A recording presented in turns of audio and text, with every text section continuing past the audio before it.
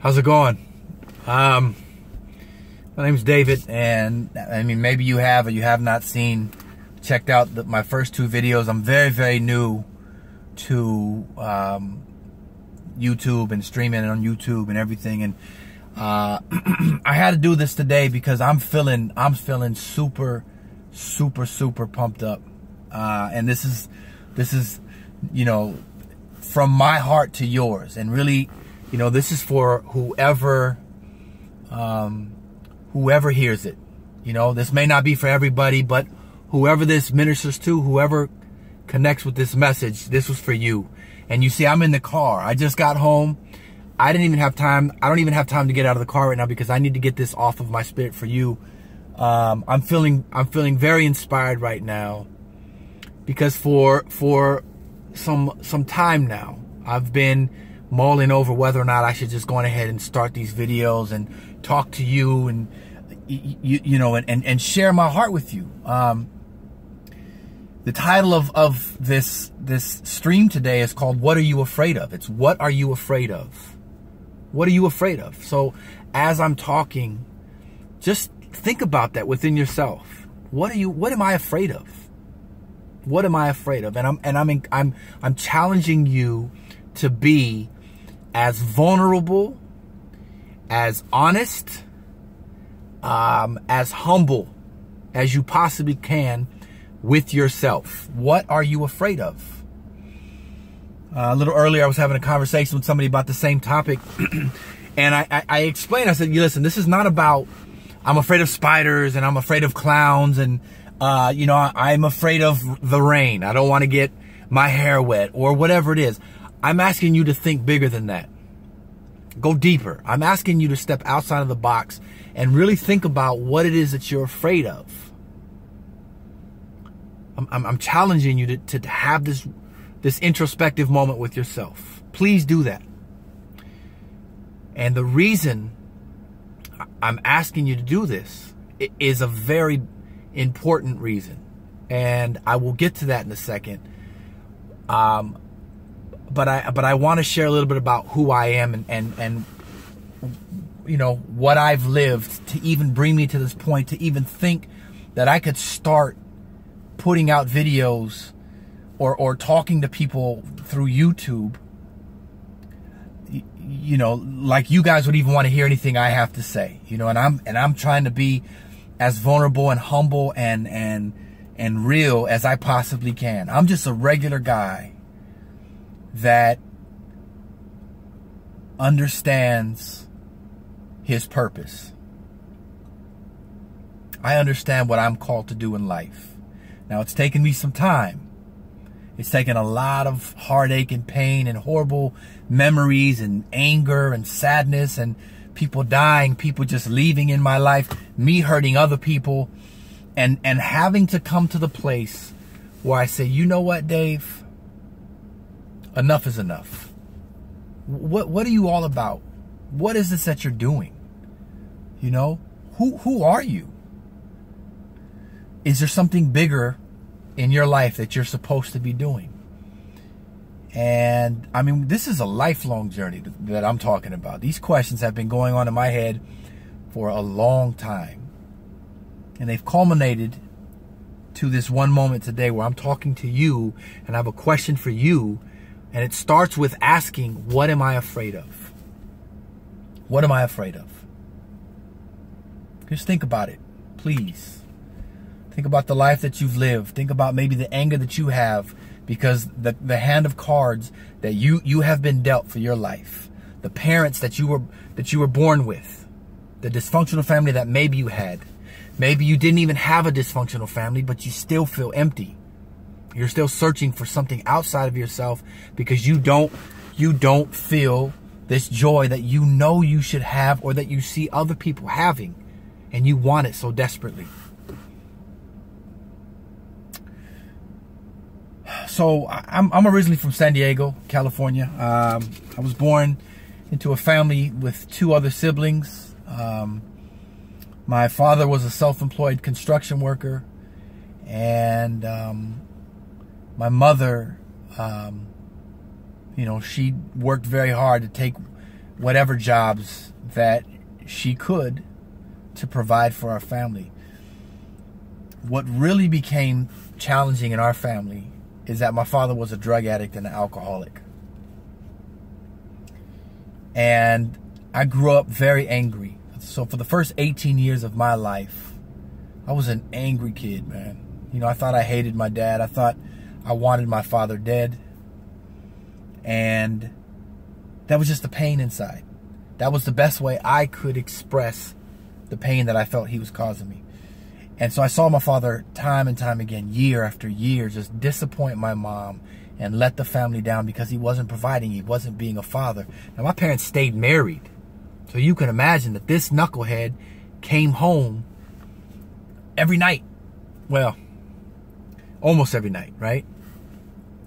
And um, the fights, the arguments, the yelling, the screaming, the rage that I experienced, you know, between my mother and my father, because my mom herself came from a dysfunctional family, and she didn't really grow up with a father figure, and her mom was stuck to to support a family of six kids, right?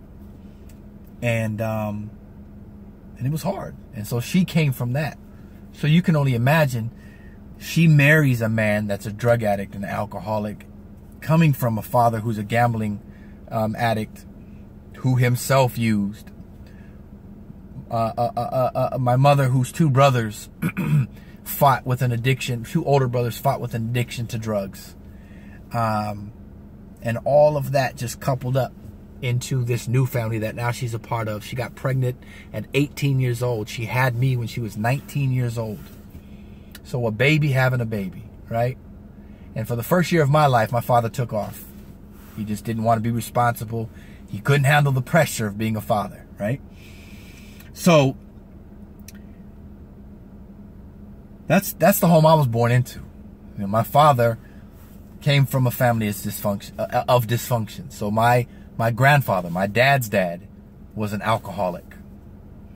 And I don't know if you notice, I'm using past tense here because my father and my grandfather and my two uncles, my dad's two brothers, have all passed away due to addiction.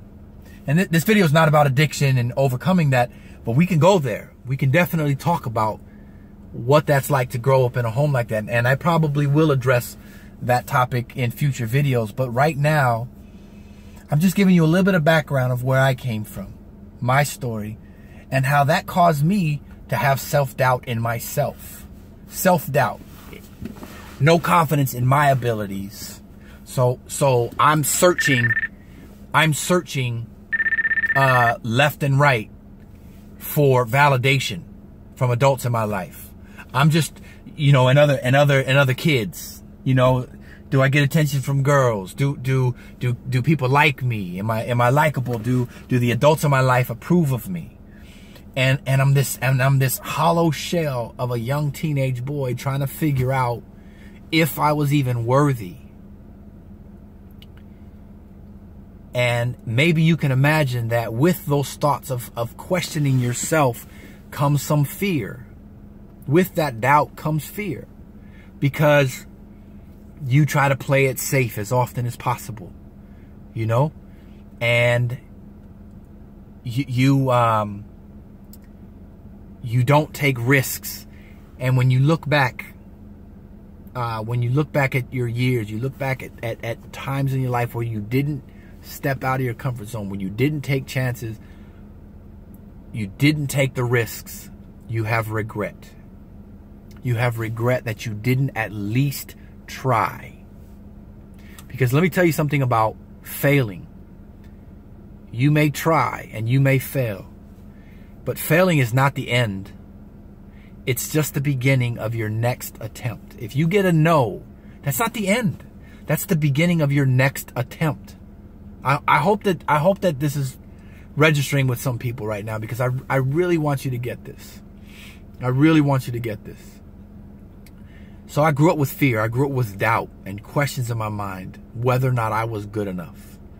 And many, many years later, as I've lived through my 20s and I've lived through my 30s. I'm at a place now where I I can identify what I was afraid of.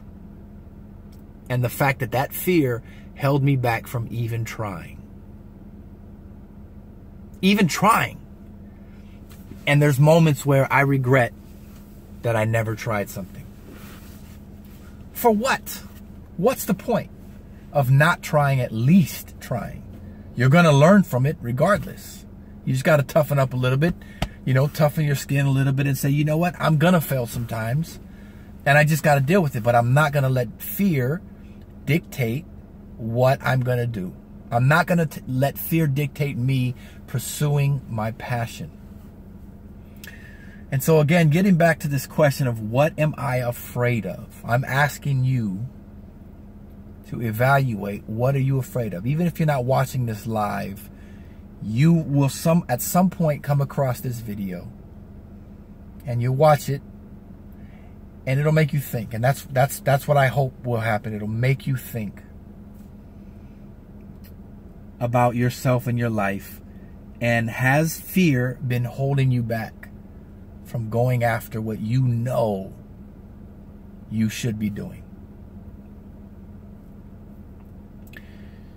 There was a there's a there's a parable that talks about a master who has three servants.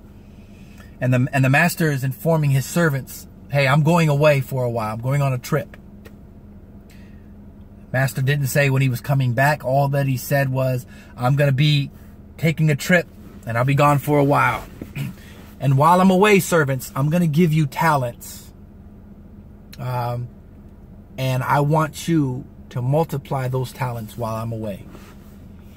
Now, that the master was a shrewd businessman. He didn't play.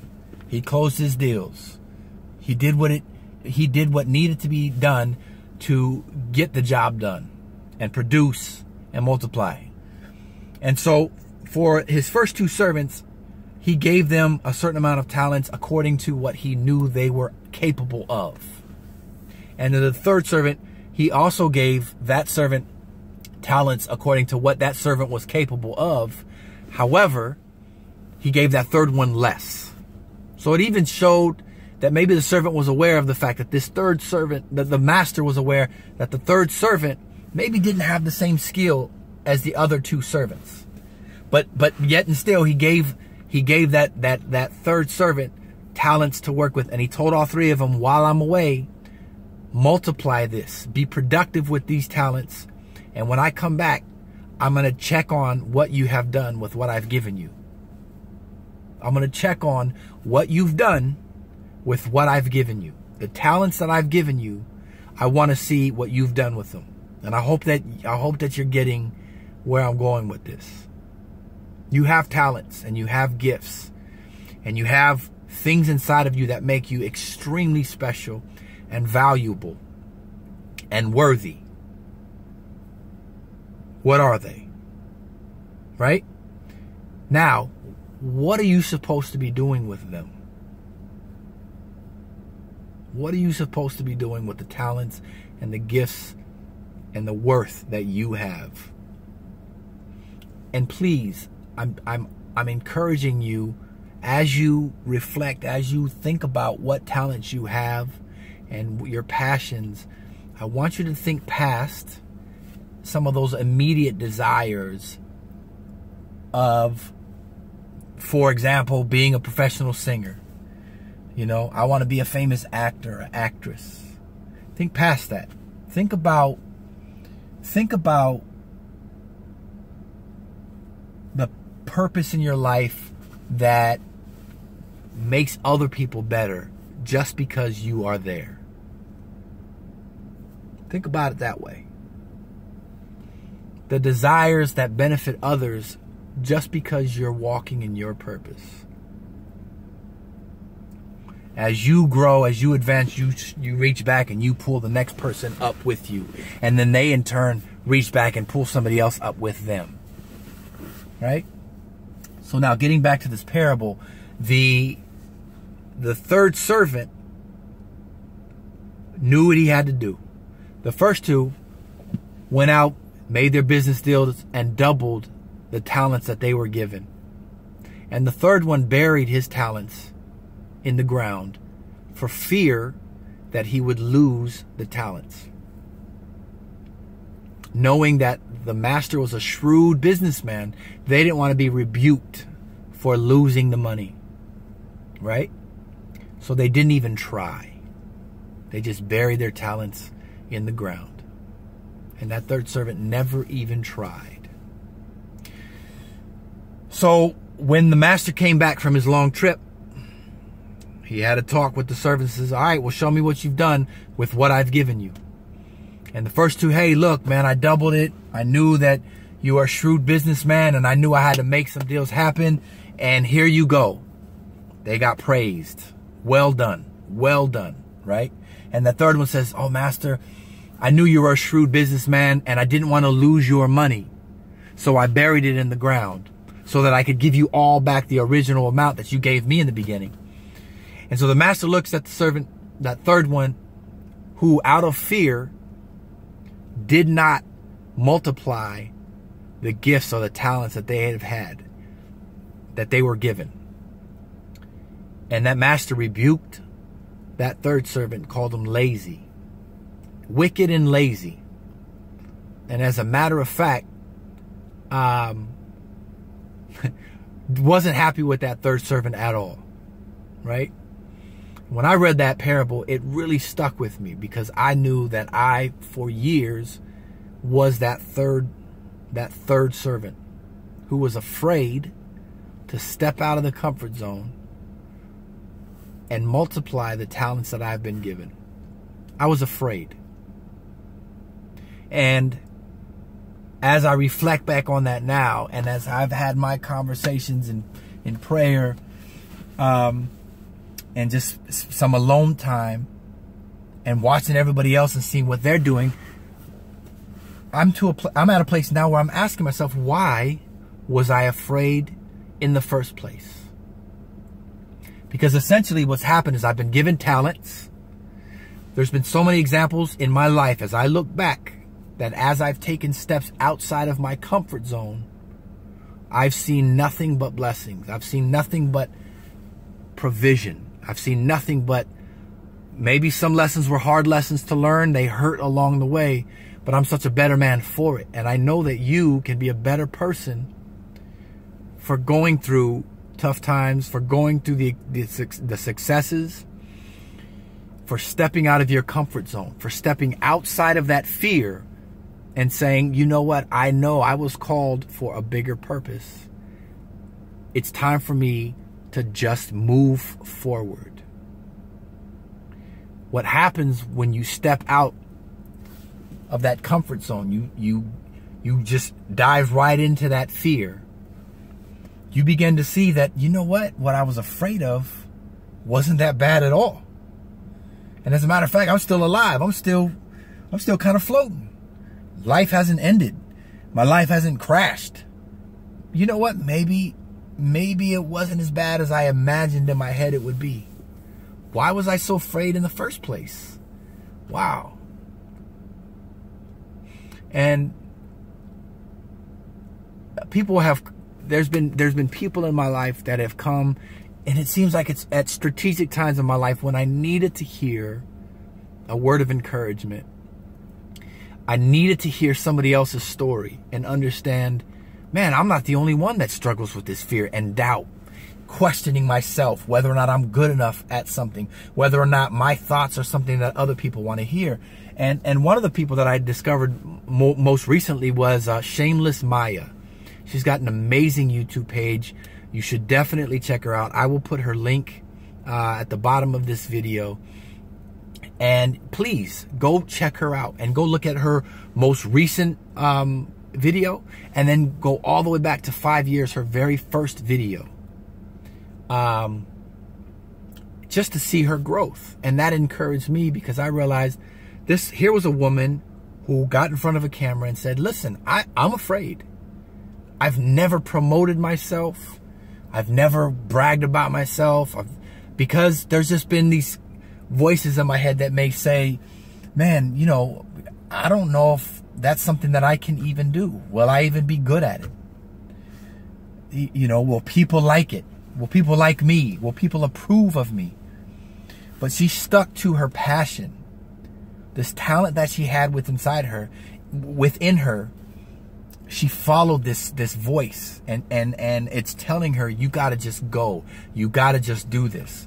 But I'm afraid to do it. But what if? What if this and what if that? And what it all comes down to most time is that we're afraid of what if people don't like me, right? I think what's more scary to people is what if I'm good at it? What if they love me? You know, what if what my what if my thoughts are exactly what people have been wanting to hear? We don't even think that way. We always think of the the negatives. And so and so when you get to that point and you're saying I just got to go because if I don't, I'm always going to regret not trying, at least trying, right? So, so Maya, her journey up until now in five years, and she's done very well to the point that she has almost a million subscribers on YouTube now. She's doing very well. God bless her.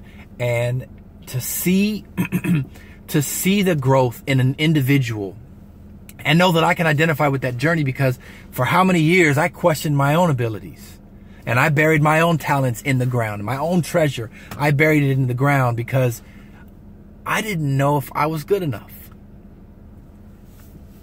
I, I didn't know if I was good enough. And you know what I realize now? That that fear and doubting myself, it doesn't even matter that has nothing to do with what my talents allow me to do. I don't I don't know if that even makes sense, but fear and questioning myself and having doubt has nothing to do with my purpose in life. In fact, the only thing it's been doing is holding me back. The only thing it's been doing. Uh, I don't want to make this too long for you. I think I'm gonna I'm gonna stop right there.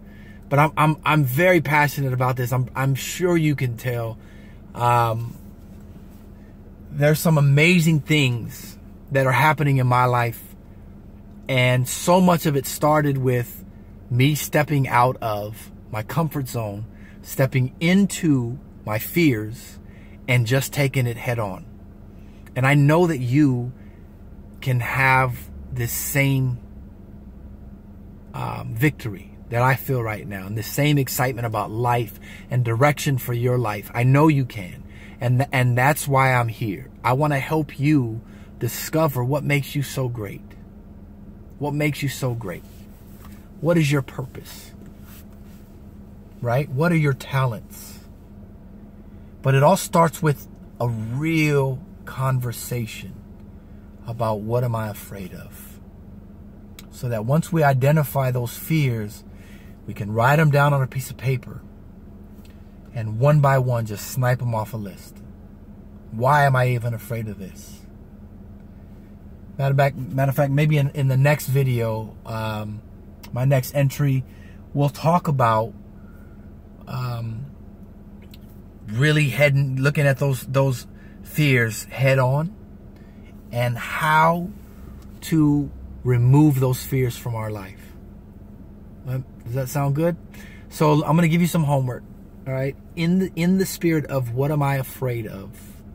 Please make a list of the things that you're afraid of. Don't the, the list can be any length. The list can be any length. Okay? Make a list and um, you know, please leave me comments down below. Let me know that you're working on this. If you want to just type your comments down below, your fears, your list of fears down below, please feel more than welcome to do that. Please, I invite you to interact with me. And um, I want to invite you also to join me um, on my my my radio show. I'm here on on the air in Los Angeles. I've been on the radio at 102.3 KJLH Uh, on the FM dial since 99. And right now my segment is called Beyond the Pulpit. Every Sunday evening from 6:30 to midnight. We have real conversation just like this and I'd love to hear from you. I would absolutely love to hear from you okay? And you can join join us live on the internet because you may be in another state. You may be in another city that doesn't broadcast LA radio stations. KJLHradio.com, KJLHradio.com, and um, and just join. Just join the conversation. You, you're more than welcome to call in and, and join that conversation. Um, but but but but also connect with me on on uh, uh, social media. Connect with me on Twitter and and uh, um, and Instagram. Those are the ones that I'm on the most, and I'll put I'll put that information below in the comments. Uh, but again, introspective moment. I'm challenging you to think about the question: What am I afraid of? What am I afraid of? And your homework, until next time is to make this list of the things that you are afraid of. Or you can type them down below. God bless you guys. Thank you for even taking some time out to watch this video. I truly appreciate you. And I want you to know I don't I don't know you. I don't need to know you personally, but I love you. And I believe the best for your life. And I believe that it can happen. And I want to be with you from day day zero as you begin your journey or wherever you are in that journey i want to be there with you and see you succeed and see you win all right if uh, if you've enjoyed this video please by all means um, hit that like button and, and the subscribe button you'll see i'm very new i'm just a youtube baby i'm a baby so i have i have a, a couple of subscriptions but please subscribe, and be ready. I'll have more videos just like this where I want to connect with you. There's going to be plenty of, uh, there's going to be a variety of videos that I will post. I'm married to a beautiful woman. We travel a lot. Uh, I plan to to to um, share some of our travels, some of the, the the reflections that I've gotten from being in other parts of the world, and then also um, you know, some of the life lessons that I gain every day with my job. I don't just work here in radio in Los Angeles. I am also a youth and a family counselor, and I've been doing that since 2000. So I work with broken families, and I try to help them heal. This is my passion, y'all. This is why I'm doing this. And so now I'm reaching out to you, whoever finds this video, and I want you to know thank you for staying all 28 minutes and listening to this. I really hope that this helped you. Whoever stayed and listened to all of this, I'm, I'm grateful for you. This is not just for me, this is for you. I want to be with you as you win, as you grow, as you become more in love and confident in yourself. Okay? So until next time, God bless you. We'll talk again. My name is David Hernandez. Please leave some comments and feedback. Let me know what you think of this message. Bye bye.